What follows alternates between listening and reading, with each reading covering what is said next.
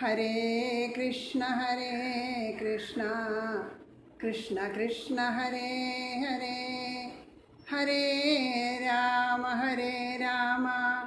राम राम, हरे हरे। हरे कृष्ण हरे कृष्ण। कृष्ण कृष्ण, हरे हरे। राधे श्याम। എല്ലാവർക്കും വിനീത നമസ്കാരം. ഉണ്ണിക്കണ്ണന്റെ തിരുനടയിലിരുന്ന് വീണ്ടും കഥ പറയാൻ അവസരം തന്ന കണ്ണന് അനന്തകോടി പ്രണാമം. ഒരുപാട് മഹാത്മാക്കൾ കഥ പറഞ്ഞിരിക്കണ ഈ വേദിയിൽ ഇരുന്ന് കഥ പറയാൻ സാധിക്കുക എന്നുള്ളത് തന്നെ മഹാഭാഗ്യമാണ് ഭാഗവതം കേട്ട് അതും അധികകാലം കേട്ടിട്ടല്ല. കുറച്ച് കാലേ ഉള്ളൂ ഞാൻ ഭാഗവതം കേൾക്കാൻ തുടങ്ങിയിട്ട്. ആ കൊതി കൊണ്ട് കേട്ട പരിചയം മാത്രമേ ഉള്ളൂ. കഥ പറഞ്ഞിട്ടൊരു പരിചയം അത് ഇല്ല. അതുകൊണ്ട് ഇതിൽ വരണ തെറ്റും ബുദ്ധിമുട്ടുകളൊക്കെ ക്ഷമിച്ച് എല്ലാവരും ഈ ഇനിയും വീണ്ടും വീണ്ടും കണ്ണന്റെ കഥ പറയാനുള്ള ആ ഒരു അനുഗ്രഹത്തിന് വേണ്ടിയിട്ട് എല്ലാവരും പ്രാർത്ഥിക്കണം. രാധേശ്യാം ധാരാളം കഥകൾ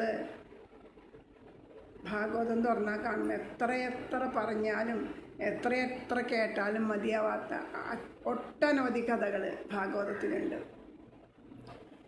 എല്ലാ കഥകളും മധുരാണെന്നുണ്ടെങ്കിലും ആ ദശമസ്കന്ധം തുടങ്ങിയിട്ട് ആ കണ്ണന്റെ ബാലലീലകൾ തൊട്ടിട്ട് ആ രാസലീല വരെയുള്ള ഭാഗങ്ങളാണ് അത്യധികം മധുരമായിട്ടുള്ളത് എന്ന് പറയാം. എല്ലാം മധുരം തന്നെയാണ്. പക്ഷെ ആ ഒരു ഭാഗത്തുള്ള കഥകൾ എത്ര പറഞ്ഞാലും എത്ര വർണിച്ചാലും നമുക്ക് മതിയാവാത്തതാണ്. കണ്ണന്റെ കണ്ണനെ അവിടുന്ന് കാരാഗ്രഹത്തിൽ നിന്ന് കൊണ്ടുവന്ന് അമ്പാടിയിൽ യശോദാമ്മയുടെ അടുത്ത് കൊണ്ടുവന്ന് കിടത്തിയതിന് ശേഷം അമ്പാടിയിൽ ഉത്സവം തന്നെയാണ് സദാ ഉത്സവം തന്നെയാണ്. അമ്പാടിക്കണ്ണനേക്ക് വിട്ടുപോകാൻ അമ്പാടിയിൽ ആർക്കും സാധിക്കുന്നില്ല. എല്ലാവർക്കും എപ്പോഴും കണ്ണന്റെ മുമ്പിൽ എപ്പോഴും കണ്ണനെ നോക്കി കണ്ണന്റെ മുമ്പിൽ ഇരുന്നാൽ മതി എന്ന് മാത്രമാണ് എല്ലാവരും വിചാരം കണ്ടിട്ടും കണ്ടിട്ടും മതിയാവാത്ത പൊന്നുണ്ണി. ആ പൊന്നുണ്ണി എത്ര കണ്ടാൽ മതിയാവുക? അത്രയും ഒരു കൊതിയോടുകൂടി ഗോപീഗോപന്മാരും കുട്ടികളും എല്ലാവരും എന്തെങ്കിലും കാരണം പറഞ്ഞാൽ അവിടെ തന്നെയാണ്. എല്ലാവരുടെ മനസ്സിലും നിത്യോത്സവമായിട്ടാണ് ആ ശ്രീകൃഷ്ണൻ അമ്പാടിയിൽ അപ്പോൾ കൃഷ്ണൻ എന്ന് പേരിട്ടിട്ടൊന്നുമില്ല കേട്ടാ യശോദയുടെ ഉണ്ണി യശോദയുടെ ഉണ്ണി. അത്രയാ വിളിക്കുക. രോഹിണിയുടെ ഉണ്ണി യശോദയുടെ ഉണ്ണി. പേരിട്ടിട്ടില്ലല്ലോ. അങ്ങനെയാണ്. രാത്രിയിൽ എങ്ങനെയെങ്കിലുമൊക്കെ അവർ അവരുടെ വീടുകളിലേക്ക് പോകും. രാവിലെ എണീറ്റ് കഴിഞ്ഞാൽ വേഗം ബന്ധപ്പാടാണ് ഗൃഹജോലികളൊക്കെ തീർത്തിട്ട് എങ്ങനെയെങ്കിലും ആ ഗൃഹത്തിന്റെ ജോലികളൊക്കെ തീർത്ത് നേരെ ആ നന്ദ ഗൃഹത്തിലേക്ക് ചെല്ലുക എന്നുള്ളതാണ്. അപ്പോൾ അതിനുവേണ്ടി ഓരോരുത്തരും ഓരോ പണി ധൃതി പിടിച്ച് ചെയ്തുകൊണ്ടിരിക്കുമ്പോഴും ഈ ഭഗവാന്റെ ആ ഒരു കാര്യങ്ങൾ ആലോചിക്കുമ്പോൾ അവരുടെ ഗൃഹ ജോലികളൊന്നും നടക്കില്ല. ഞാനാണ് ആദ്യം ചെല്ലണ്ടേ. എനിക്ക് ആദ്യം ഉണ്ണി എടുക്കണം. എനിക്ക് ആദ്യം കണ്ണനെ എടുക്കണം.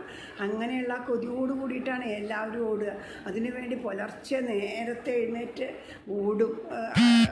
പണിയെടുക്കാനായിട്ട് തിടുക്കത്തിൽ ചെയ്യും. അങ്ങനെ ചെയ്തിട്ട് എന്താ ചെയ്യുക? ഓരോ പണികൾ ചെയ്തുകൊണ്ടിരിക്കുമ്പോഴും ഇവർക്ക് ചിന്ത വരിക. ഉണ്ണിയുടെ അടുത്താണ്. ഗൃഹകൃത്യങ്ങൾ ചെയ്തുകൊണ്ടിരിക്കുമ്പോഴൊക്കെ മനസ്സ് നിറച്ച് ഈ പൊന്നുണ്ണിയുടെ കാര്യങ്ങൾ തന്നെയാണ്. ഒരാളാണെങ്കിലോ പാൽ അടുപ്പത്ത് വെച്ചു. പാൽ അടുപ്പത്ത് വെച്ച് ഇങ്ങനെ നിന്നപ്പോൾ ഉണ്ണിയുടെ കാര്യങ്ങൾ ആലോചിച്ചു. എന്തൊരു ഭംഗിയാ ഉണ്ണിയുടെ കണ്ണിന്. ആ കണ്ണിന് എന്തൊരു ആകർഷണ അത് ഇത്രയും ചെറിയ കുട്ടികളൊന്നും അങ്ങനെ എപ്പോഴും കിടന്ന് കിടന്നുറങ്ങല്ലേ ഉള്ളൂ. കണ്ണിങ്ങനെ മെഴിക്കില്ല. പക്ഷേ ഇടയ്ക്കിടയ്ക്ക് ഉണ്ണി കണ്ണും മിഴിച്ച് എല്ലാവരെയും നോക്കി. പുഞ്ചിരിക്കുന്നുണ്ടോയെന്ന് വരെ തോന്നും ഗോപി ഗോപികമാർക്ക്. അതൊക്കെ അങ്ങോട്ട് ആലോചിച്ച് നിന്ന് ആ പാൽ അടപ്പത്ത് വെച്ചിട്ടാണ് ഇതൊക്കെ ആലോചിക്കുക കേട്ടോ. അപ്പോൾ എന്തൊരു ഭംഗിയാണ് ആ കണ്ണ് കാണാൻ. ആ കണ്ണിനെ അഞ്ചനൊക്കെ ഇട്ട് വാലൊക്കെ ഇട്ട് എഴുതി ആ പുരുകൊക്കെ എഴുതിച്ച് ആ കവിളത്തൊരു കൊത്തൊക്കെ കുത്തി. ഈ ഗോപി അപ്പോഴേക്കും കണ്ണനെ എടുത്ത് വാരി മടിയിൽ വെച്ചിട്ട് ഇത് ചെയ്യണം. മനസ്സ് മനസ്സാ ഗോപിയൊക്കെ ചെയ്തുകൊണ്ടിരിക്കുക. അപ്പോഴേക്കും ഒരു ഒച്ച കേട്ട് കണ്ണ് തുറന്ന് നോക്കുമ്പോൾ എന്താ? ആ പാൽ മുഴുവനും തളച്ച് അടുപ്പിൽ പോയി. അങ്ങനെ അത് കഴിഞ്ഞു. വേറൊരാളെന്താ ചെയ്യണേ? അവർ പശുവിനെ കറക്കാനായിട്ട് പോവുക. പശുവിനെ കറക്കാനായിട്ട് പോണ സമയത്ത് ആ പശുക്കുട്ടി അയച്ചിട്ട് അങ്ങോട്ട് പാൽ കുടിക്കാൻ അങ്ങോട്ട് വിടുമ്പോൾ ഈ പശുക്കുട്ടിയുടെ കടവായി കൂടെ അങ്ങനെ പാൽ ഒഴിക്കണ കാണുമ്പോൾ യശോദാമ്മയുടെ മടിയിലിരുന്ന് പാൽ കുടിക്കണ കണ്ണനെ ഓർമ്മ വരും. അപ്പം എന്താ? ആ കണ്ണൻ പാൽ കുടിക്കണ കാര്യങ്ങളൊക്കെ ആലോചിക്കുക ആ കണ്ണനെ വാരി ഇങ്ങനെ മടിയിൽ വയ്ക്കും തലേന്ന് വരുമ്പോഴേ വിചാരിച്ചിട്ടുണ്ട് നാളെ കണ്ണനെ കുളിപ്പിക്കേണ്ടത് ഞാനാണ് കണ്ണനെ കുളിപ്പിക്കണേന്ന് ആലോചിച്ച് വെച്ചിട്ടുണ്ട് ഈ ഗോപി. അപ്പോൾ എന്ത് ചെയ്യും? ആ കണ്ണനെ വാരി മടിയിൽ വെക്കേണ്ട അങ്ങോട്ട് ആലോചിക്കുമ്പോഴേക്കും കണ്ണനെ കിടത്തുക ഈ മടിയിൽ എണ്ണ തേപ്പിച്ച് അതാ കുളിപ്പിക്കുക. അതിനായിട്ട് ദേഹം എണ്ണ തേച്ച് ഇങ്ങനെ കയ്യുമ്മലും കാലുമ്മലും ഒക്കെ തടവാൻ തുടങ്ങി. പൊന്നുണ്ണിയുടെ കുഞ്ഞിക്കൈ വളര് വളര് വളര്. പൊന്നുണ്ണിയുടെ കുഞ്ഞിക്കാൽ വളര് വളര് വളര്. പൊന്നുണ്ണി എന്ന് പറഞ്ഞിട്ട് ഇങ്ങനെ കുളിപ്പിച്ചുകൊണ്ടിരിക്കുന്നു. അത് കഴിഞ്ഞ് പെട്ടെന്ന് തന്നെ ഈ പശുക്കുട്ടി പാലൊക്കെ കുടിച്ച് പെട്ടെന്ന് തന്നെ അതിന്റെ അങ്ങനെ ആ വീട്ടിലിങ്ങനെ ഇടിക്കുമ്പോൾ ആ കുടമണിയുടെ ഒരു കിൽക്കം കേട്ട് കണ്ണ് തുറന്ന് നോക്കുകയാണേ. അത് തുറന്ന് നോക്കുമ്പോൾ എന്താ? ഈ പാലൊക്കെ പശുക്കുട്ടി കുടിച്ച് കഴിഞ്ഞു പയ്യനെ കറക്കാൻ പാലില്ല. അങ്ങനെ ഒരാളുണ്ടായി. അപ്പോൾ അത് കഴിഞ്ഞിട്ടോ വേറെ ഗോപി എന്താ ചെയ്യണേ വെള്ളം കോരാനായിട്ട് പോയി. വെള്ളം കോരാനായിട്ട് പോയി ഈ പാ കിണറ്റിലിട്ട് വെള്ളം ഇങ്ങനെ കോരിക്കൊണ്ടിരിക്കുക. അപ്പോഴും വിചാരം മുഴുവനും ആ നന്ദഗോപരുടെ ഉണ്ണിയുടെയും യശോദയും നന്ദഗോപർക്കുണ്ടായ ഉണ്ണിയുടെ കാര്യമാണ്. അപ്പോൾ നന്ദഗോപർക്കൊരു ഉണ്ണിയുണ്ടായി. അമ്മ യശോദയ്ക്കു ഭാഗ്യമായി എന്ന് പറഞ്ഞ് ഇങ്ങനെ ഓരോ പാട്ടുകൾ അവർക്ക് അപ്പം അപ്പം അങ്ങനെ വന്നുകൊണ്ടേയിരിക്കും പാട്ടുകൾ. അങ്ങനെയാണ് ഗോപികമാർക്ക് ആലോചിക്കാനൊന്നുമില്ല. കാരണം അത്രയും പ്രേമത്തോട് കൂടിയിട്ടല്ലേ ഭഗവാൻ നിറഞ്ഞിരിക്കണേ. ഈ ഗാനവും പറയലും എല്ലാം ഭഗവാൻ തന്നെയാണ്. അപ്പം അങ്ങനെ ആലോചിച്ചുണ്ടാക്കേണ്ട കാര്യമൊന്നുമില്ല. അവർ വർത്തമാനം പറയണത് വരെ കണ്ണനോടുള്ള പാട്ടുകളായിട്ട് തീരും. അങ്ങനെ പാട്ടൊക്കെ പാടിയിട്ട് ഈ ഉണ്ണിക്കുട്ടനെ അങ്ങോട്ട് വാരിയെടുത്ത് മാരോടം അങ്ങോട്ട് ചേർക്കുമ്പോഴേക്കും ആകെ നനഞ്ഞു കുളിച്ചു. ഏ? കണ്ണ് തുറന്ന് നോക്കിയപ്പോൾ എന്താണെന്നറിയോ ഈ വെള്ളം കോരിയെടുക്കണ ഇതിട്ടിട്ടാണ് ആ പാള കൈ ഇപ്പോൾ ബക്കറ്റൊന്നും അല്ലല്ലോ അങ്ങനെ പാളോണ്ട് കെട്ടിയിട്ടാണ് കോരണത്. അപ്പോൾ അത് ഇങ്ങനെ കെട്ടിയപ്പോൾ അതാണ് മേത്ത് മുഴുവനും നനഞ്ഞു. ഇങ്ങനെ ഓരോരോ കാര്യങ്ങളുണ്ടാവും. രാവിലെ തന്നെ ആകുമ്പോഴേക്കും ഈ കുട്ടികളൊക്കെ എന്താ ചെയ്യുന്ന പറയും അതേ യശോദാമ്മ പറഞ്ഞിട്ടുണ്ട് ഉണ്ണിയെ നോക്കാൻ അങ്ങോട്ട് ഓടിച്ചെല്ലണമെന്ന്. ഞാൻ പോവുക കേട്ടോ എന്ന് പറഞ്ഞ് കുഞ്ഞുങ്ങളൊക്കെ ആദ്യം ഓടും. അത് കഴിഞ്ഞ് പറയും അനന്തഗോപര് പറഞ്ഞിട്ടുണ്ട് അവിടെ ഇന്ന് അവിടെ കുറച്ച് കാര്യങ്ങളുണ്ടെന്ന്. എന്നുള്ള ഗോപന്മാരും പോവും. ഗോപികമാരും എല്ലാവരും നന്ദഗൃഹത്തിലേക്ക് അങ്ങോട്ട് പോയി. അവിടെ അവിടെ നിത്യോത്സവം എന്ന് പറയണ പോലെ എല്ലാവരും അതെ. അപ്പോൾ ഗോപന്മാർ ചെന്നിട്ട് തലേ ദിവസം അവിടെ വലിയ ആഘോഷമായിരുന്നു. ജനിച്ചപ്പോഴേ പാലും മോരും വെണ്ണയും മങ്കുടും ഇങ്കുടും ഒക്കെ ഇട്ട് ഇട്ട് അതിന്റെ ഒരു ആഘോഷമായിരുന്നു തലേ ദിവസം. ആ ആഘോഷത്തിന് ഉണ്ടായ അവിടെ മുഴുവൻ പരിസരം മുഴുവനും അടിച്ച് വൃത്തിയാക്കി കാര്യം എല്ലാം വൃത്തിയാക്കിയിട്ട് അങ്ങനെ കുട്ടികളാണെങ്കിൽ അതാ ആ കണ്ണനെ നോക്കി കണ്ണന്റെ ചുറ്റും ഇരിക്കുന്നു. അപ്പോഴേക്കും യശോദാമ്മയുടെ അടുത്ത് നിന്ന് ഓരോരുത്തർ ഞാനാവാം ഞാനാവാം എന്ന് പറഞ്ഞ് ഒരാൾ മേടിക്കണു ഒരാൾ എണ്ണ തേപ്പിക്കണു ഒരാൾ കുളിപ്പിക്കണു. അങ്ങനെ അവരിങ്ങനെ കൈമാറി കൈമാറി ഓരോന്നേ ഉണ്ണിയെ ചെയ്യുക. എല്ലാവരും കൈമാറി ഇങ്ങനെ ചെയ്താൽ ഉണ്ണിക്ക് വല്ലത് എണ്ണം വരികയാവോ എന്നാണ് നമ്മളൊക്കെ പേടിക്കുക അല്ലേ? ഇവിടെ അങ്ങനെയൊന്നുമില്ല. എല്ലാവരുടെയും സ്നേഹം എങ്ങനെയൊക്കെയാണ് ആ ഭഗവാന് പകരേണ്ടതെന്നനുസരിച്ചിട്ട്.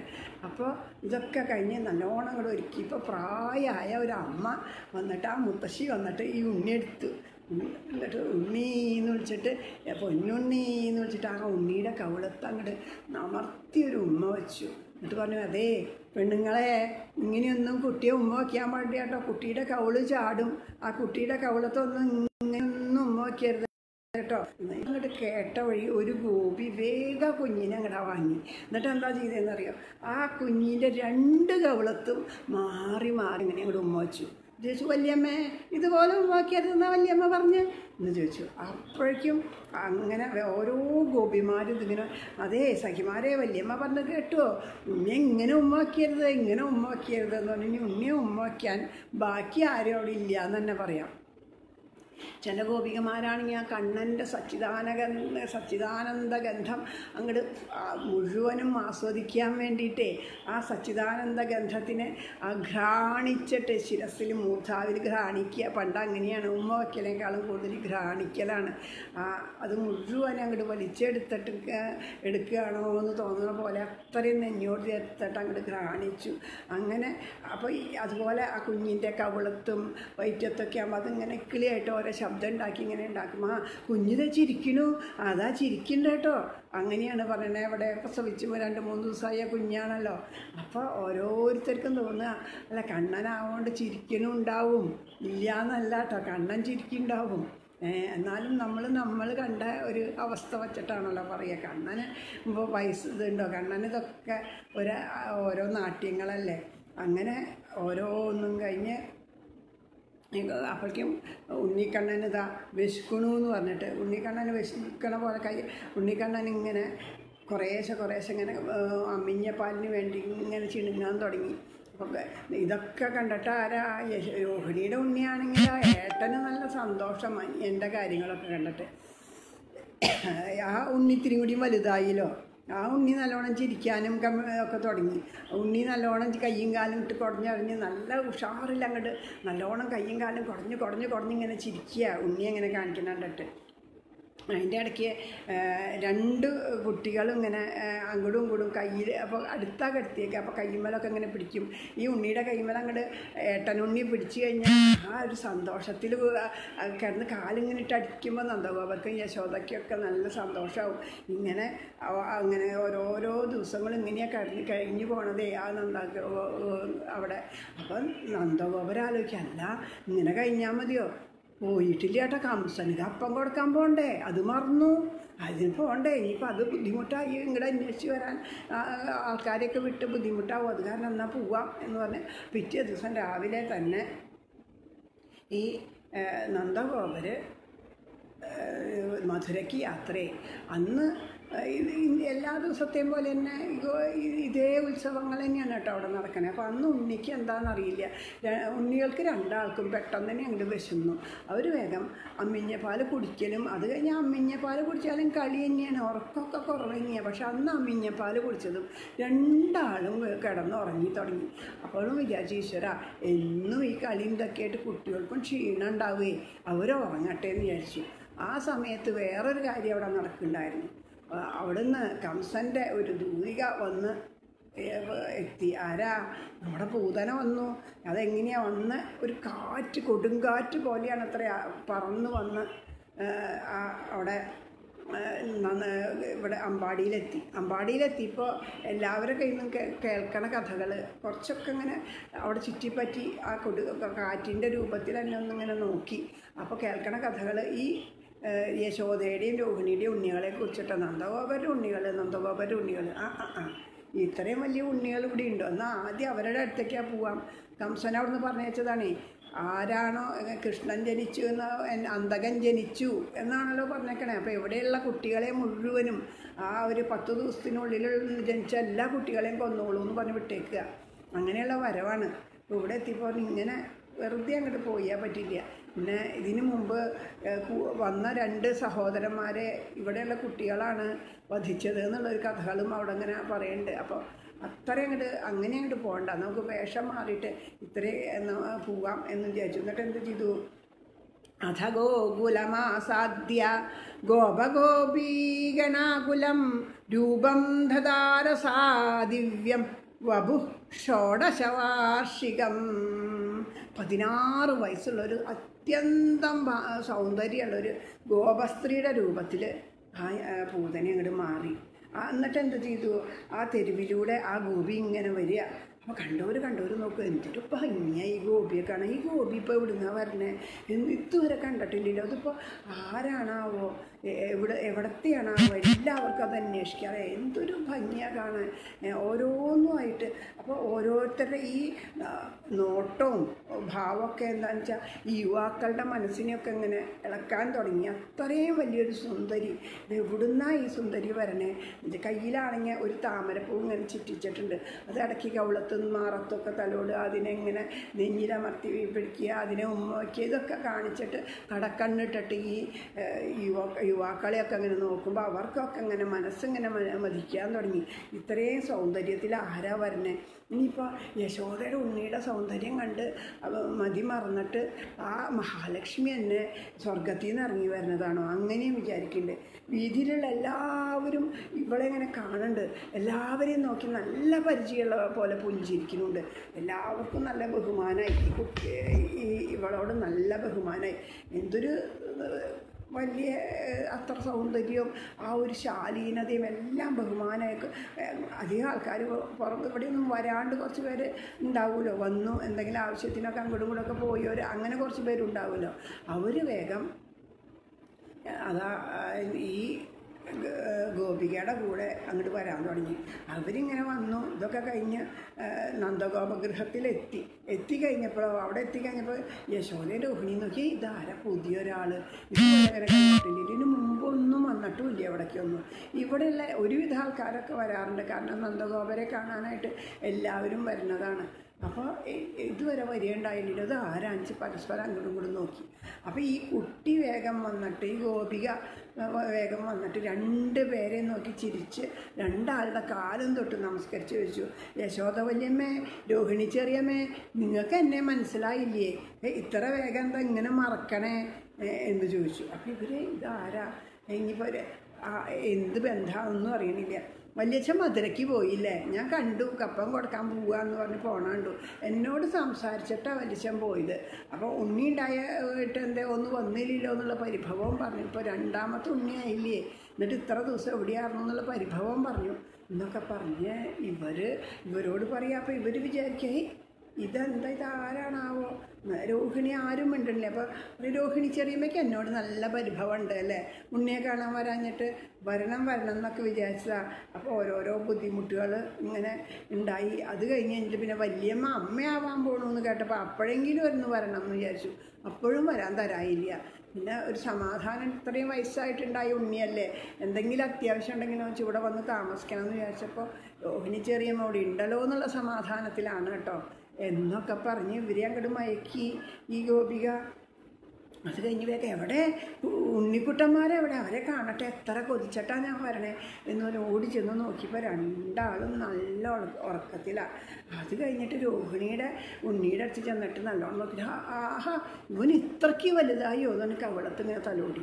അവളത്ത് തലോടിയ വഴിയേ അവർക്ക് മുഖം കെട് കനത്തു ബലരാമന്റെ മുഖം കെടുന്ന ഉണ്ണിയുടെ പേരിട്ടിട്ടില്ലല്ലോ ബലരാമൻ എന്ന് നമുക്കാണ് പേരറിയുക അപ്പോൾ ഹരേ കൃഷ്ണ. അപ്പോൾ ഉണ്ണിയുടെ മുഖം കെടുക്കാൻ കനത്തു കാരണം ഉണ്ണിക്ക് അറിയാം ആരായി പറഞ്ഞേക്കണേ എന്നുള്ളത്. അതുകൊണ്ട് പറഞ്ഞു ഇനി വല്യമ്മയും ചെറിയമ്മയും ഒന്നും വിഷമിക്കേണ്ട. ഇനി ഒരാളും വേണ്ട ഈ കുട്ടികളെ നോക്കാൻ. ഞാൻ നോക്കിക്കോളാം. നിങ്ങൾ വേഗം പൊക്കോളൂ. എനിക്ക് വിശന്നിട്ട് വയ്യ. എത്ര നേരത്തെ ഞാൻ രാവിലെ എനിക്ക് നടന്നതാണെന്നറിയോ ഞാൻ ഒന്നും കഴിച്ചിട്ടില്ല. എനിക്ക് ആഹാരം ഉണ്ടാക്കാൻ പൊക്കോളൂ എന്ന് പറഞ്ഞിട്ട് അവരെ അങ്ങോട്ട് പറഞ്ഞു വെച്ചു. അവരങ്ങോട്ട് പോണ സമയത്ത് യശോദ എന്ത് കരുതി? ഇത് രോഹിണിയുടെ ആരോ ബന്ധുക്കളാവുന്നു. അപ്പോൾ രോഹിണിയും ഇവിടെ വന്നിട്ട് കുറച്ച് കാലമല്ലേ ആയുള്ളൂ. അപ്പോൾ രോഹിണി എന്ത് കരുതി? ഇത് യശോദയുടെ ഏതോ ബന്ധുക്കളാവുന്നു. രണ്ടുപേരും പരസ്പരം ചോദിച്ചുമില്ല. അങ്ങനെ അത് കഴിഞ്ഞിട്ട് ഏട്ടന്റെ ഏട്ടൻ ഇങ്ങനെ കോ അതിനിടെ കൂടെ കണ്ണ് ഇങ്ങനെ ചുമന്ന് നോക്കിയിട്ട് അനിയനെ ഒന്ന് നോക്കി. അപ്പോൾ അനിയൻ ഏട്ടന്റെ മുഖത്ത് നോക്കി ഒന്ന് പുഞ്ചിച്ച് സാരല്ല ഏട്ടാ ഒക്കെ ഞാൻ ശരിയാക്കിക്കോളാം എന്നുള്ള ഭാവത്തിൽ അങ്ങോട്ട് നോക്കി ഒന്ന് പുഞ്ചിരിച്ചു. അത് കഴിഞ്ഞിട്ട് പിന്നെ ഈ ഗോപികമാരാണെങ്കിലോ ഇത് ആരോ പ്രധാനപ്പെട്ട ഒരാളാട്ടോ. അല്ലാണ്ട് ഒന്നുമല്ല ഇത്രയും സൗന്ദര്യവും ആ കുലീനതയൊക്കെ കണ്ടപ്പോൾ അവർക്ക് സാധാരണ പോലെ ഓടി വന്ന് ഈ ഉണ്ണിയുടെ അടുത്ത് ഇരിക്കാനൊക്കെ ഒരു മടി. പുറമേ നിന്ന് ആരെങ്കിലുമൊക്കെ വന്നു കഴിഞ്ഞാൽ പിന്നെ അങ്ങനെ ഉള്ളിൽ കിടന്നാൽ ശരിയല്ലല്ലോ അവർക്കത് ഇഷ്ടപ്പെട്ടില്ലെങ്കിൽ വെച്ചിട്ട് എല്ലാവരും ഈ ഉണ്ണിയുടെ മുറിയുടെ പുറത്ത് ചുറ്റിപ്പറ്റി നിന്ന്. ഇവർ പോയിട്ടാവാം എന്ന് വിചാരിച്ചിട്ട്. അങ്ങനെ വേഗം ചെന്ന് അവൾ രണ്ട് കുഞ്ഞുങ്ങളെ നോക്കി എന്നിട്ട് പറഞ്ഞു ക്രിമികീടങ്ങൾ നിങ്ങളാണോ? കംസനെ കൊല്ലാൻ ജനിച്ചിരിക്കണവർ നിങ്ങളുടെ അന്ത നിങ്ങൾക്ക് നിങ്ങളെ കൊല്ലാനാണോ നിങ്ങളാണോ എന്റെ കംസനെ കൊല്ലാൻ വന്നേക്കണേ? എന്നൊക്കെ ചോദിച്ച് അവളെ അങ്ങോട്ട് പരിഹസിച്ചു. നിങ്ങളുടെ ഞാനാണ് കഴിക്കണേ. എന്റെ കൈ കൊണ്ടാവട്ടെ. ആദ്യം ഈ പിഞ്ചിനി ആവാം അതിനെ അങ്ങോട്ട് കഴിഞ്ഞിട്ടാവാട്ടോ നിന്റെ അടുത്തേക്ക്. നിനക്ക് ഇത്തിരി മുഷ്കുണ്ട് ഞാൻ തൊട്ടപ്പോൾ നിനക്ക് ഇഷ്ടപ്പെട്ടില്ല അല്ലേ? എന്നൊക്കെ. അത് ഇവൾക്കും മനസ്സിലായേക്കണം ആ മുഖം കറുത്തതൊക്കെ. അത് കഴിഞ്ഞിട്ട് എന്ത് ചെയ്തു? ഈ ഇത് ഇതിങ്ങനെ പറയണ കേട്ടപ്പോൾ നമ്മുടെ കുഞ്ഞുണ്ണി ഒന്ന് പുഞ്ചിരിച്ചു. ആ പുഞ്ചിരി കൊണ്ട് എല്ലാവരെയും വശത്താക്കിയ ആ പുഞ്ചിരി കണ്ടപ്പോൾ ഈ യശോദയുടെ ഈ പൂതനയുടെ ഉള്ളിൽ അങ്ങോട്ട് വല്ലാത്ത ആർദ്രതയോ ഒരു വാ മാതൃവാത്സല്യോ എന്തൊക്കെയാണെന്നറിഞ്ഞെന്ന് പറയാൻ വയ്യ. ഒന്നും ആലോചിക്കാണ്ട് എല്ലാ ഗോപികമാരൊക്കെ ഏത് പ്രേമഭാവത്തിലാണോ ആ കുഞ്ഞിനെ വാരി മാറോട് ചേർക്കണേ. അതേ ഭാവത്തോട് കൂടിയിട്ട് അവൾ ആ കുഞ്ഞിനെ അങ്ങോട്ട് വാരി മാറോട് ചേർത്തു. മാറോട് ചേർത്തപ്പോൾ എന്തൊരു നിർവൃതിയാണ്. ആ സച്ചിദാനന്ദത്തിനെ അല്ലേ മാറോട് ചേർത്തേക്കണേ? ആ അറിഞ്ഞോ അറിയാണ്ടോ മാറോട് ചേർത്താലും അതിന്റെ ഗുണം അത് കാണിക്കാണ്ടിരിക്കുമോ എന്തൊരു നിർവൃതിയാണെന്നറിയോ? ആ നിർവൃതിയോട് കൂടിയിട്ട് മാറോട് ചേർത്തപ്പോഴും ഇതുവരെ പ്രസവിക്കാത്ത പൂതനയുടെ ആ സ്ഥലങ്ങൾ ചുരന്നോന്ന് സംശയം. അവളറിയാതെ ഈ വിഷം പുരട്ടിയിട്ടുള്ള ആ കാളകൂട വിഷം കൊടുക്കാന്നുള്ള മട്ടിലൊന്നുമല്ല. അവൾ അറിയാതെ കണ്ട് ആ മാതൃവാത്സല്യത്തിന്റെ സ്തന്യം കൊടുക്കാനുള്ള ഭാവത്തിൽ തന്നെ ആ കുഞ്ഞിനെ ആ മുലയൂട്ടാൻ തുടങ്ങി. പക്ഷേ ഭഗവാന് അധിക നേരം ഇങ്ങനെ ഈ മായയിലിരുത്തിയ ശരിയാവില്ല എന്ന് ഭഗവാന് മനസ്സിലായി. അപ്പോൾ ഭഗവാൻ എന്ത് ചെയ്തു? ആ പല്ലില്ലാത്ത മോണമുണ്ട്. ഒരു കടി അങ്ങോട്ട് വച്ചു കൊടുത്തു. ആ എന്തൊരു വേദന അങ്ങോട്ട് എടുത്തേന്ന് പറയും പൂതനയ്ക്ക് വേദന വന്നോടുകൂടി പൂതനയുടെ ഭാവമൊക്കെ മാറി. അപ്പോൾ പിന്നെ പൂത പിന്നെ ആ പണ്ടത്തെ അപ്പോഴേക്കും ഈ ആ ഒരു അതാണ് മായ. ഭഗവാൻ പല വിധത്തിലുണ്ട് ഭഗവാന്റെ പുഞ്ചിരി തന്നെ ഒരു മായ എന്ന് പറയുന്നുണ്ട്. കുന്തിദേവി സാക്ഷാൽ പരബ്രഹ്മ എന്ന് മനസ്സിലായിട്ട് ആ, പ്രാർത്ഥിച്ചു കഴിഞ്ഞപ്പോൾ എന്താണ്ടായേ? മന്ദം ജഹാസ വൈകുണ്ഠ മോഹയന്നിവ മായയാ. അവളൊരു ചിരി ചിരിച്ചിട്ട് മായാമോഹത്തിൽ പെടുത്തിയിട്ട് ഇതെന്റെ കുട്ടിയാന്നുള്ള ഭാവം തിരിച്ചു വരുത്തി. ഇവിടെ എങ്ങനെ ആ സച്ചിദാന ഈ- ഇത് ആ ഭഗവാനെ അങ്ങോട്ട് അനുഭവിപ്പിച്ചു ആ മാവിരിയോട് കൊണ്ട് എല്ലാം മറന്ന് ആ സച്ചിദാനന്ദം അനുഭവമാക്കി എന്നിട്ട് എന്ത് ചെയ്തു? ഒരു കടി കൊടുത്തിട്ട് ഇവിടെ ദാ ആ മായയൊക്കെ. അപ്പം ഭഗവാൻ പറയുന്നത് ആ മായ ഭഗവാന്റെ മായ ഏതെല്ലാം വിധത്തിലാണെന്നും നമുക്കും അറിയില്ല. നമ്മുടെ അടുത്തേക്കും ഉണ്ടാവും ഇങ്ങനെ സുഖമായിട്ടും ദുഃഖമായിട്ടും ഒക്കെ ആ മായ വരൂട്ടോ അതൊക്കെ ഭഗവാന്റെ ലീലകളാണെന്ന് വിചാരിച്ച് നമ്മൾ സന്തോഷമായിട്ട് സ്വീകരിച്ചാൽ മതി. അപ്പം ഇതങ്ങോട്ട് വേദന എടുത്തപ്പോൾ അങ്ങോട്ട് ഇതിന് ദേഷ്യം അങ്ങോട്ട് വന്നില്ലേ ഈ മനുഷ്യ മനുഷ്യക്കീടമേ എനിക്ക് എന്നെ വേദനിപ്പിക്കുകയല്ലേ? നിന്റെ കഥ ഇന്നത്തോട് കഴി കഴിയൂട്ടോ? നീ അപ്പോൾ ഈ കുട്ടി ഇതങ്ങോട്ട് കേട്ടോടുകൂടി ആർത്തിയോട് കൂടിയിട്ട് അങ്ങോട്ട് വലിച്ച് വലിച്ച് സ്ഥലം കുടി വലിച്ച് വെച്ച് കുടിക്കുക. പാലൊന്നുമില്ലല്ലോ സ്തന്യമില്ലാത്ത സ്ഥലമല്ലേ? അപ്പോൾ ഇതാ ഉറക്ക ചിരിച്ചു. ആ ചിരി എന്ന് വെച്ചാൽ ഒരു രാക്ഷസീയമായ ചിരി തന്നെയായിരുന്നു കേട്ടോ പൂതനയുടെ ആ ചിരിച്ചിട്ട് പറഞ്ഞു ഹാ ഇത്ര വളരെ പാലുണ്ടോ? നിനക്ക് കുടിക്കാൻ? എന്നൊക്കെ ചോദിച്ച് പരിഹസിച്ച് ചിരിച്ചു. ഈ ചിരിയുടെ മട്ടും ഭാവമൊക്കെ കണ്ടപ്പോൾ പുറത്ത് നിൽക്കണ ഗോപികമാർക്ക് തോന്നി "ഏയ്, ഇതത്ര പന്തിയല്ലല്ലോ. ഇതാരവൾ എന്താ ഇങ്ങനെ ചിരിക്കണേ? ഒരു പന്തിയല്ലാത്ത ചിരി എന്നൊക്കെ വിചാരിച്ചു അവരിങ്ങനെ എത്തി നോക്കുന്നുണ്ട്. പക്ഷെ ഇങ്ങനെ തിരിഞ്ഞിരുന്നിട്ടാണ് പാൽ കൊടുക്കുന്നത്. അപ്പോൾ എന്താ പാൽ കൊടുക്കുകയാണ് ആ യശോദ വയസ്സ് പ്രായമൊക്കെ ആയിട്ടാണല്ലോ പ്രസവിച്ചേ. ചിലപ്പോൾ കുട്ടിക്ക് കൊടുക്കാൻ പാലുണ്ടായിണ്ടാവില്ല. അതുകൊണ്ട് പാൽ കൊടുക്കാനായിട്ട് വരുത്തിയതാവും ഇവിടെ എന്നിങ്ങനെ വിചാരിച്ചു. അപ്പോൾ ഈ പൂതനയുടെ മുഖം മാറണതോ മുഖഭാവം ഒന്നും ഈ ഗോപികമാർക്ക് കാണില്ല? പുറം തിരിഞ്ഞല്ലേ ഇരിക്കണേ?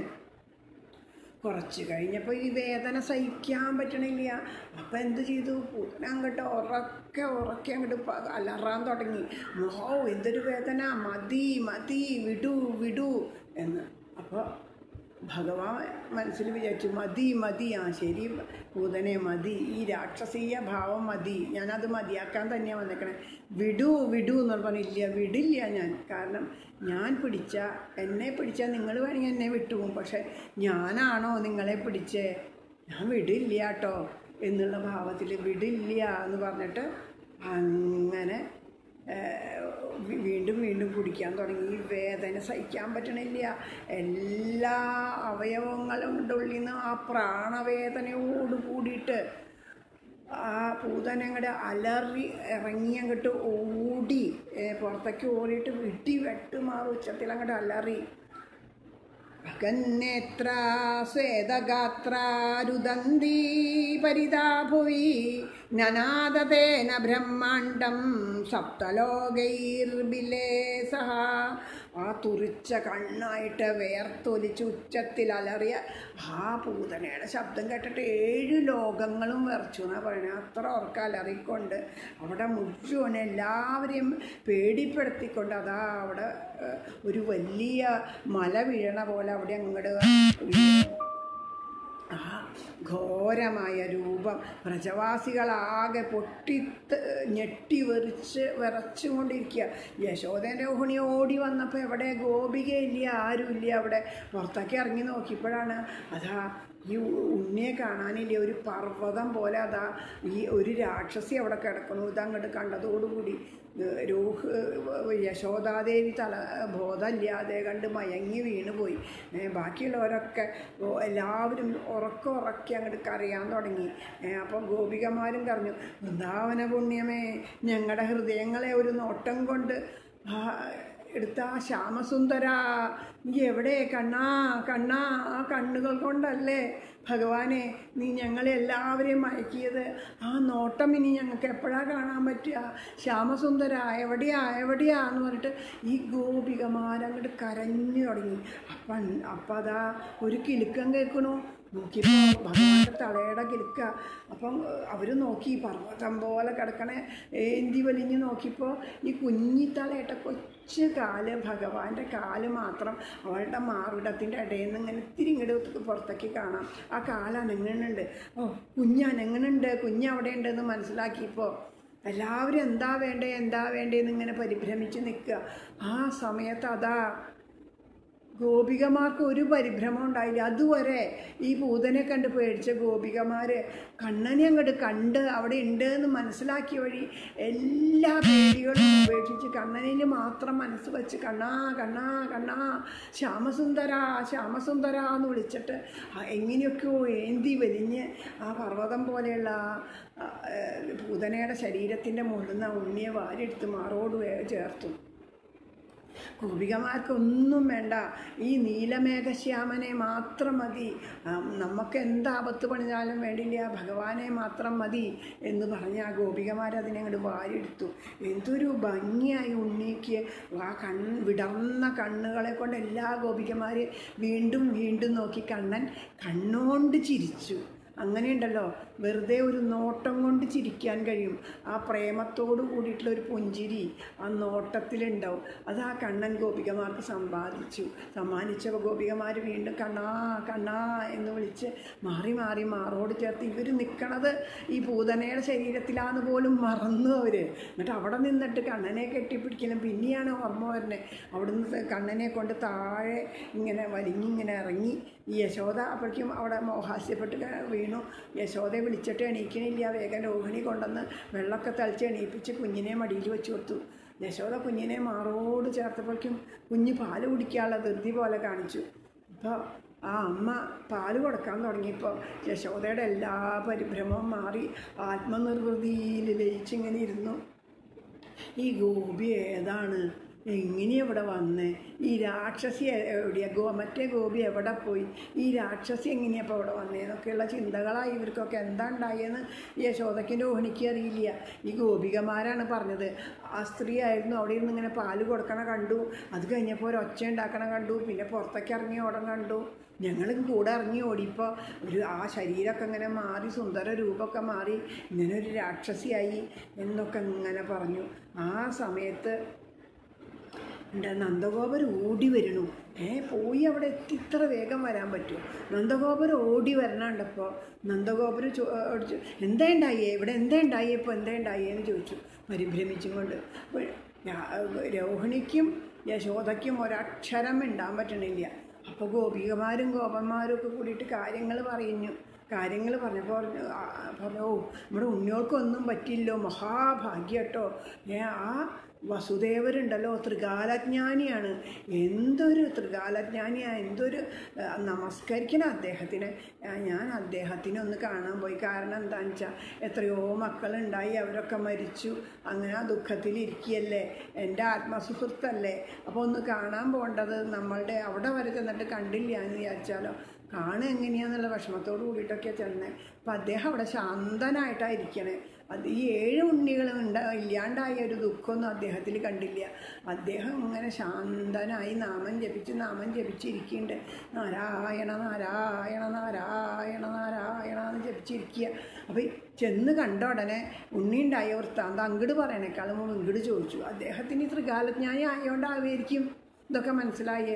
എന്നിട്ട് എന്നോട് പറഞ്ഞു അതേ അധികം നേരം അവിടെ നിൽക്കണ്ട കേട്ടോ. വേഗം അങ്ങോട്ട് പൊക്കോളൂ. അവിടെ ഉണ്ണികൾക്കൊക്കെ എന്തോ ആപത്തൊക്കെ വരാൻ പോകുന്നുണ്ട് എന്ന് പറഞ്ഞപ്പോൾ ഞാൻ എന്താ വിചാരിച്ചേ? ഈ ഉണ്ണികളൊക്കെ പോയ വിഭ്രാന്തി ആവുമായിരിക്കും മനസ്സിന്റെ ഓരോ വിഭ്രാന്തി കൊണ്ട് പറയാമെന്ന് എനിക്ക് മനസ്സിലായില്ല അദ്ദേഹത്തിന്റെ മഹത്വം.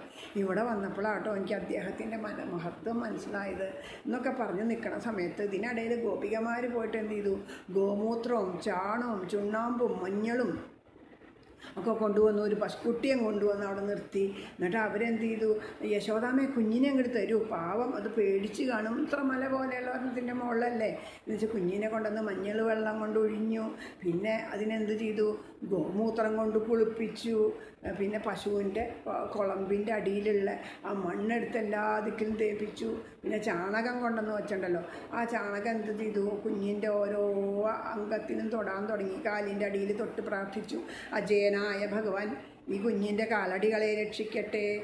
പിന്നെ കാലിന്റെ മുട്ടിൽ വെച്ച് പ്രാർത്ഥിച്ചു. അവ്യനായ അവ്യയനായ ഭഗവാൻ കുട്ടിയുടെ മുട്ടുകളെ രക്ഷിക്കട്ടെ. പിന്നെ തുടകളിൽ വച്ചിട്ട് പറഞ്ഞു യജ്ഞനായ ഭഗവാൻ ആ തുടകളെ കാത്തു രക്ഷിക്കട്ടെ. കടിതടത്തിൽ തൊട്ട് പ്രാർത്ഥിച്ചു ഹയഗ്രീവനായ ഭഗവാൻ കുഞ്ഞിന്റെ കടിതടത്തെ രക്ഷിക്കട്ടെ. വയറിൽ തൊട്ടുകൊണ്ട് പ്രാർത്ഥിച്ചു ഹയ വയറിൽ വയറിലും തൊട്ടുകൊണ്ട് പ്രാർത്ഥിച്ചു. ഹൃദയത്തെ തൊട്ടുകൊണ്ട് പ്രാർത്ഥിച്ചു കണ്ടത്തെ തൊട്ടുകൊണ്ട് അങ്ങനെ ഓരോ ദിക്കിലും അതെ കേശവൻ രക്ഷിക്കട്ടെ നാരായണൻ രക്ഷിക്കട്ടെ അച്യുതൻ രക്ഷിക്കട്ടെ മഹാവിഷ്ണു രക്ഷിക്കട്ടെ എന്ന് പറഞ്ഞ് ഓരോ അംഗങ്ങളെയും ചാണകം തൊടിയിച്ച് തൊടിയിച്ച് തൊടിയിച്ച് ഇങ്ങനെ രക്ഷ പ്രാർത്ഥിച്ചു. അവസാനം എന്ത് ചെയ്തു? കുട്ടിയെ പാലുകൊണ്ട് കുളിപ്പിച്ചു. എന്നിട്ട് പശുവിന്റെ വാലോണ്ട് ഒഴിഞ്ഞു. ഇതൊക്കെയാണ് കുട്ടികൾക്ക് പേടി പറ്റിക്കഴിഞ്ഞാൽ പണ്ട് കാലത്ത് നമ്മുടെ അവിടെയും ഇതുപോലെ ഇത്രയ്ക്കില്ലെങ്കിൽ ഇതുപോലെയൊക്കെ ചെയ്യാറുണ്ട് കുട്ടികൾക്ക് പേടി പറ്റിക്കഴിഞ്ഞാൽ അങ്ങനെ ഒഴിഞ്ഞു കളയൽ അത് ഇതാണ് ഗോ അവിടെ ഗോ ഗോ വ്രജത്തിലുള്ള അവർക്ക് അവരുടെ എല്ലാം പശുവാണ്. ആ ഗോമാതാവാണ് അവർക്ക് സർവസ്വം അപ്പോൾ അവർ അതിനെ കൊണ്ടാണ് ഈ കുട്ടികൾക്ക് രക്ഷ ചെയ്തിരുന്നത്. അങ്ങനെ എല്ലാം കഴിഞ്ഞു. അപ്പോൾ ഇതൊക്കെ കഴിഞ്ഞപ്പോൾ ഇതൊക്കെ കണ്ടിട്ട് ഒരാളവിടെ ഇങ്ങനെ ഭയങ്കര ചിരി. അതാരാന്നറിയോ? നമ്മുടെ ഏട്ടൻ തന്നെ രാമേട്ടൻ. രാമേട്ടൻ പറഞ്ഞു ആ അനിയ തുടങ്ങിയില്ലേ? ലീലകളൊക്കെ ആടാൻ തുടങ്ങിയില്ലേ? ഏട്ടാ മിണ്ടല്ലേ? എന്നുള്ള മട്ടിൽ ഈ കുഞ്ഞു ഉണ്ണി ഏട്ടനെ നോക്കി ഒന്ന് കണ്ണിറുക്കി ചിരിച്ചു. എന്താ വെച്ചിട്ടുണ്ടെങ്കിൽ ഈ ഏതെല്ലാം നാമം ഉപയോഗി ലോകത്തിന് മുഴുവനും സംരക്ഷിക്കുന്ന ഈ നാ ഭഗവാന് ആ ഭഗവാന്റെ നാമത്തെ തന്നെ ഉപയോഗിച്ചിട്ട് ഇതാ ഗോപികമാർ പൂജ ചെയ്യണു. അതൊക്കെ കണ്ടപ്പോൾ ഏട്ടന് ചിരിക്കാനല്ലാണ്ട് വേറെ എന്താ പറ്റുക അത് കഴിഞ്ഞ് പിന്നെ പറഞ്ഞു "ഓ, ഏട്ട അനിയ അനിയനിപ്പോൾ രണ്ട് പേര് കിട്ടിയല്ലോ. കണ്ണനും ശ്യാമസുന്ദരനും.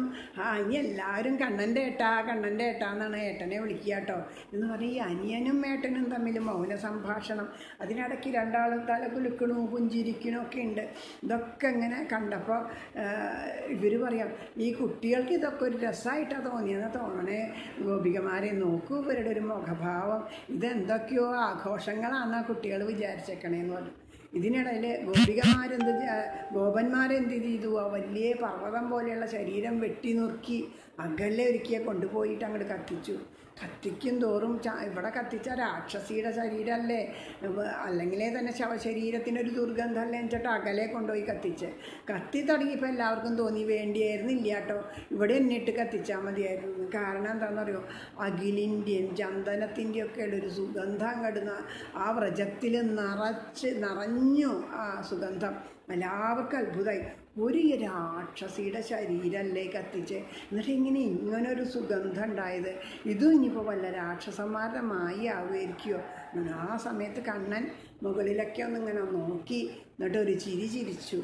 കാരണം അവിടെ ഒരു ജീവൻ കണ്ണനെ നമസ്കരിച്ച് നിൽക്കുന്നുണ്ട്.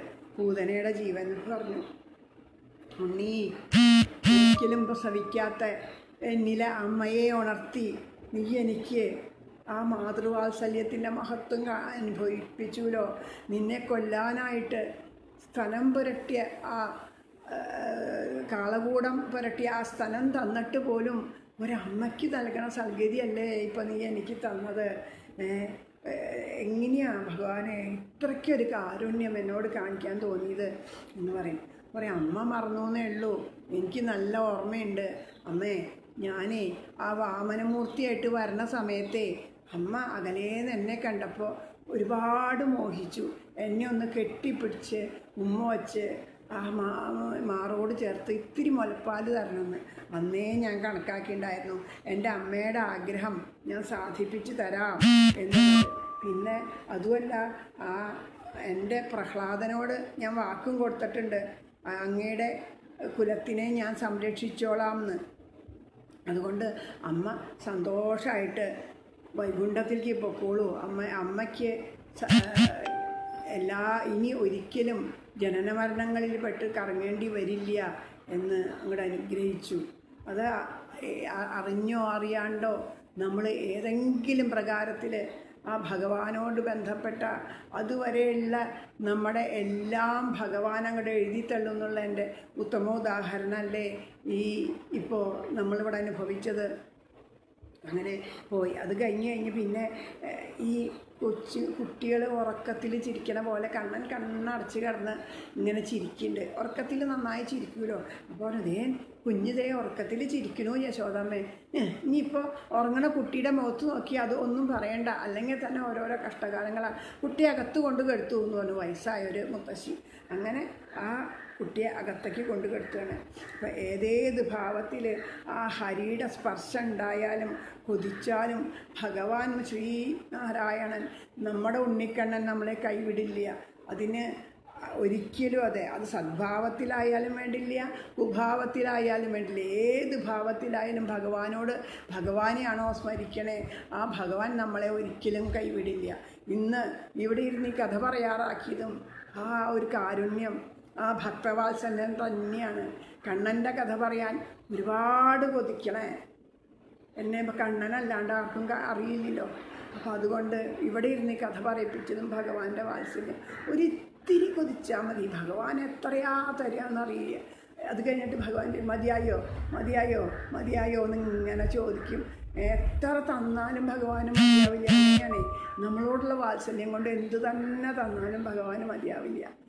എല്ലാത്തിനും എല്ലാത്തിനും അടിസ്ഥാനമായിട്ടുള്ള ഞാനെന്നതിനടിസ്ഥാനം അവിടുന്നല്ലയോ വിഭോ? ഞാനെന്നതിനടിസ്ഥാനം അവിടുന്നല്ലയോ വിഭോ? എല്ലാത്തിനും അടിസ്ഥാനമായ ഉണ്ണിക്കണ്ണന്റെ ഈ വാക്കുകൾ സമർപ്പിക്കണു കണ്ണാ കണ്ണാ. ആ പ്രാണൻ ഈ ശരീരം വിടണ വരെ ഭഗവാനെ സ്മരിക്കാനും ഭഗവാന്റെ കഥകൾ കേൾക്കാനും ഭഗവാന്റെ കഥകൾ പറയാനും അനുഗ്രഹിക്കണേന്ന് മാത്രമേ പ്രാർത്ഥനയുള്ളൂ. ഞാനാകും പാഴ്മുളം തണ്ടിനെ കണ്ണാനിൻ മോഹന വേണുവായി മാറ്റൂ. ശ്രീകൃഷ്ണ പ്രേമ രസത്തെ നീ നിത്യവും ഈ മുളം തണ്ടിൽ നിറയ്ക്കൂ. കണ്ണൻ അനുഗ്രഹിച്ച ഇനിയും വരാട്ടോ കഥ പറയാൻ എല്ലാവരുടെ അടുത്തേക്ക്. രാധേശ്യാം